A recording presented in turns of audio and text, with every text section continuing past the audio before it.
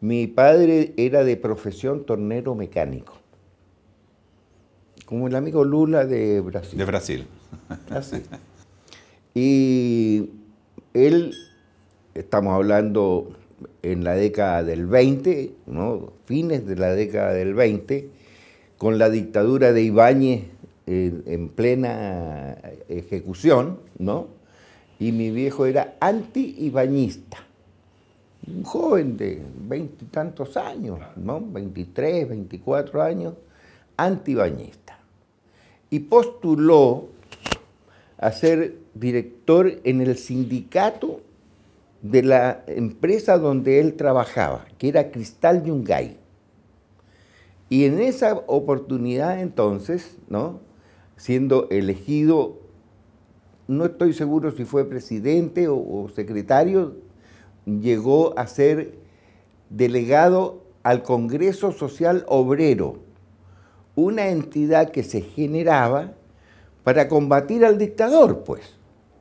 Claro. Y él postula, ¿no? Estamos hablando de 1930, o sea, tenía exactamente 25 años, postula la presidencia y es elegido presidente del Congreso Social Obrero. Hasta ese momento, sus orígenes políticos eran anarcosindicalistas. Ahí, ahí estaba su idea política centrada en esos instantes. Y conjuntamente con los otros miembros de la directiva del Congreso Social Obrero, hicieron un pliego para presentárselo al presidente Ibáñez, al dictador, al tirano. Y sucede de que le plantearon cosas que parecían imposibles, cosa de que las negara y se opusiera y se molestase, qué sé yo. Crearle, Crearle problemas. Conflicto. De luego vamos a pedir, se- sostenían ellos, ¿no? Que el primero de mayo sea declarado feriado, el Día del Trabajador. Y el señor Ibáñez accedió. Las leyes del trabajo estaban dispersas. Y entonces había que hacer el código del trabajo. El señor Ibáñez accedió. Y el, el tema de las ocho horas y demás estaba gelatinoso y se precisaron entonces la jornada de 48 horas semanales, etc. Y el señor Ibáñez accedió. Y de anti-ibañista pasaron a ser ibañistas. Todos los anarcosindicalistas. Todo eso, todo eso, esos anarcosindicalistas pasaron a ser ibañistas.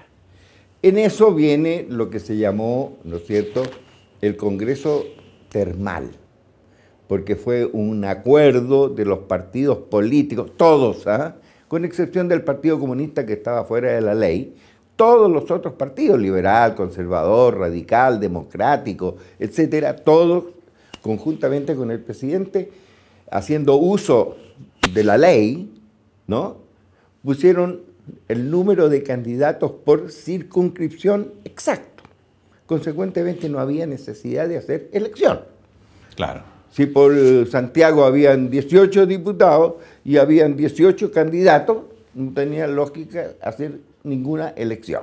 Ese fue el mecanismo que inventaron seguramente los políticos de la época, más que Ibáñez, que era militar, Claro, supongo yo.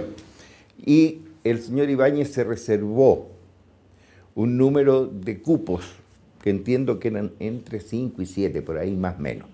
Y uno de esos de cupos lo, lo- lo propuso para el señor Martones Quesada como diputado. Y fue consecuentemente un miembro más diputado termal, que no tiene nada de desdoroso, ¿ah? Ya. Presidentes de la República como Gabriel González Videla, como don Juan Antonio Río, por nombrarle dos ¿no? del radicalismo, fueron miembros de ese Congreso. Y yo diría incluso, porque no recuerdo en este Pero fue, instante- e- e- ese congreso funcionó eh, un periodo corto, tengo entendido. Imagínese, pues de, de fines del 30 a julio del 31. Claro. Porque vino el golpe del año 31 y se disolvió el Congreso. Perfecto. Se clausuró el Congreso, ¿no? Y consecuentemente allí eh, mi viejo, ¿no? Eh, eh, ya no tenía esos arraigos anarquistas, ¿no? sino que ya estaba en el concepto, digámoslo, socialdemócrata. Perfecto. Y ahí entonces ingresa al Partido Democrático y empieza a hacer la vida que se usaba en esos tiempos en la militancia en general, supongo yo, de todos los partidos, pero a lo menos el Partido Democrático, porque yo también concurría ¿no? a las asambleas, que eran numerosas, eran, digamos, increíblemente numerosas. Pero que ahí estaba surgiendo con mucha fuerza en esa época el Partido Radical y la, clase media, que quería expresarse, digamos, quería tener representación. Yo diría, de que la, clase media, ¿no es cierto?, se, se, consolida a partir de aquella época hasta el periodo del Frente Popular, Exacto. ¿no? con la generación de la Corfo y todas aquellas instituciones que requirieron de profesionales como los que en definitiva hubo de producir, pues, claro, claro. Pero en el momento, en el momento en que Martones Quesada, mi padre, ingresa a la militancia, ¿no? Eh, yo diría que los radicales, los democráticos, los, los digamos, partidos de centro izquierda, de centro izquierda, eran esos.